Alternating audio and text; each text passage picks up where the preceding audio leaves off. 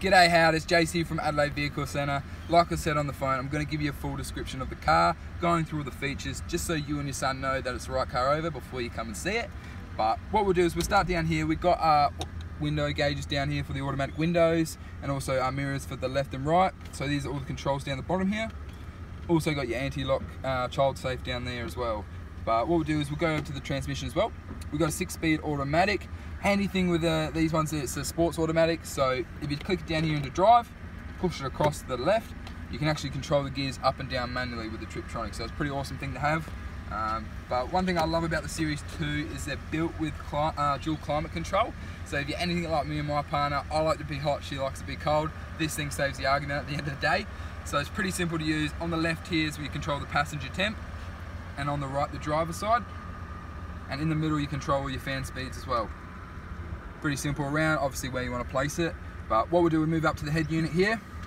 Obviously we've got a touchscreen head unit. Best thing it's got the AUX it's got Bluetooth connectivity it's got radio it's got all the bells and whistles. Handy thing I love about these cars in the Series 2 with the Bluetooth connectivity you can actually control it manually from the steering wheel.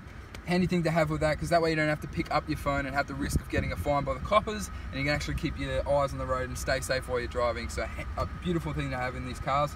Uh, but moving over to the steering wheel left side here we've got all our selections so obviously selecting the radio channels and um, your tracks and your CDs and on the right hand side here you got your volume as well as your Bluetooth connectivity buttons as well but left side we got obviously in every Holden the windscreen wipers and on the right we got our cruise control as well as our indicators. But what we'll do is we'll jump out and have a look under the hood.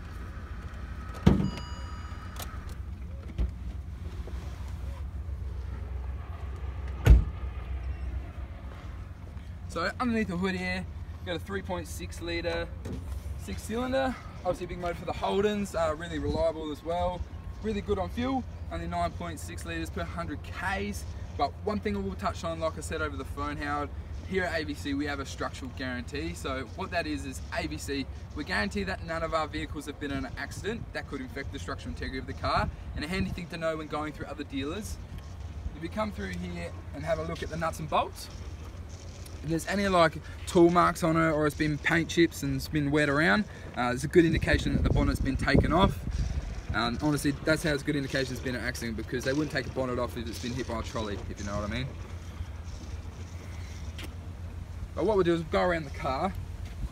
One thing I love about the Holdens and their five star NCAP safety rating, they're actually built with a side intrusion bar. So what a side intrusion bar is, so in case of force of an accident of a T-bone, the side intrusion bar takes the whole force of the accident, which keeps you and the occupants inside safe. So it's a really handy thing to have with the five star NCAP safety ratings.